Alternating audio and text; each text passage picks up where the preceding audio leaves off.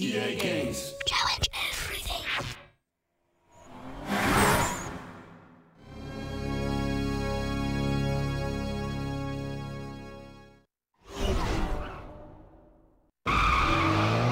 My name is Mark DeVellis, and I race in the Toyota Atlantic Series.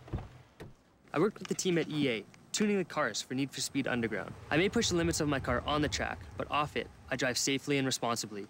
Save the racing for the track, and if you feel the need for speed, just play Underground.